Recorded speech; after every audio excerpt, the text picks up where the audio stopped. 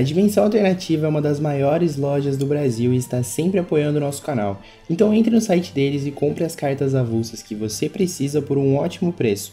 Também acompanhe no site as pré-vendas e futuros lançamentos. Você também encontra acessórios e produtos selados de Yu-Gi-Oh! e outros card games. Então entre no site dimensãoalternativa.com.br ou pegue o link na descrição deste vídeo e boas compras. Salve, salve molecada, tudo bom com vocês? Felipe Calma aqui. Queria falar um pouco com vocês, se você puder já deixa like no vídeo, se inscreve, compartilha, sempre ajuda muito quando vocês fazem isso. E claro, deixa um comentário sobre isso que a gente vai conversar no vídeo de hoje, tá? Tem uma coisa que tá me incomodando bastante no Yu-Gi-Oh! E eu queria vir conversar com vocês, saber a opinião de vocês. Eu gosto quando a gente troca essas ideias, a gente troca essas informações, vocês contam o lado de vocês, o que, vocês pensam sobre e tudo mais.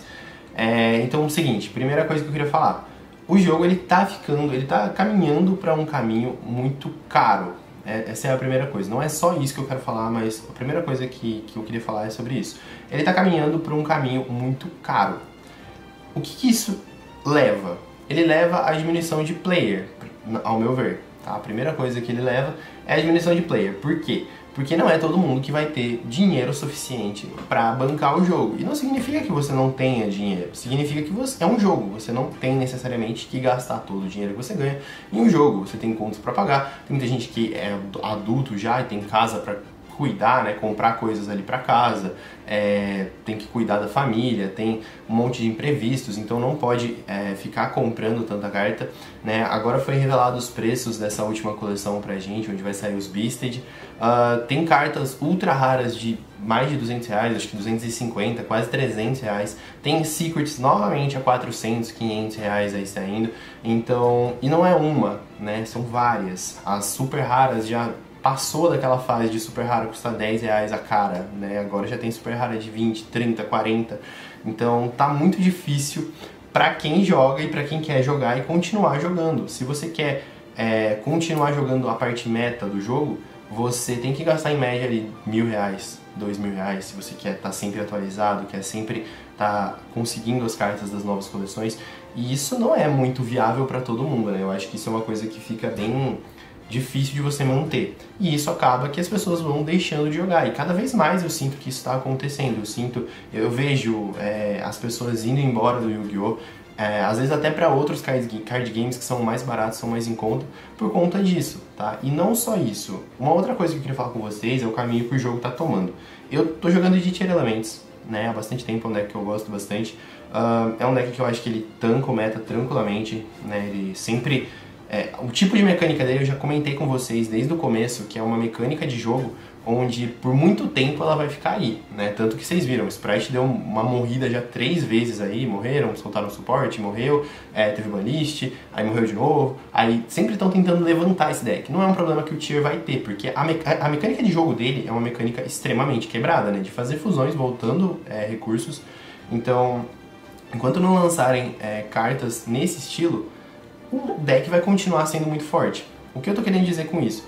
O jogo está evoluindo para um ponto onde não importa mais o deck que você tinha, você sempre vai ter que ter os decks novos. Por isso que eu disse sobre o, a, o preço. Quanto mais caro o jogo vai ficando, mais você vai ter que gastar. E uma outra coisa que me pega bastante também, eu não sei se está acontecendo com vocês, os jogos eles estão ficando mais cansativos, por conta de que um turno de qualquer jogador sem slow play, ele demora 20 minutos sabe? Tem muito combo, muita coisa, muita coisa para ativar, é, é muita chain que gera. Você pega jogo que dá chain 9, 10, 11, sabe? Então é meio bizarro isso. E o jogo ele não tem mais aquele é, turno 1, 2, 3, 4, 5. Não, é turno 1 e 2. Se a pessoa não matou no 2, você mata. Se, se, a pessoa, né, se a pessoa conseguiu jogar um pouco ali, ela te mata no 2. Então é, não tem mais turno 3, 4, 5. É muito difícil isso. Tem alguns decks ali que levam pra tendem a levar para isso, que é Eldritch, Passarinho, né, o Flandomise aí, mas já estão ficando ultrapassados também. Esses decks daqui 3, 4 meses, se não sair suportes absurdos para ele,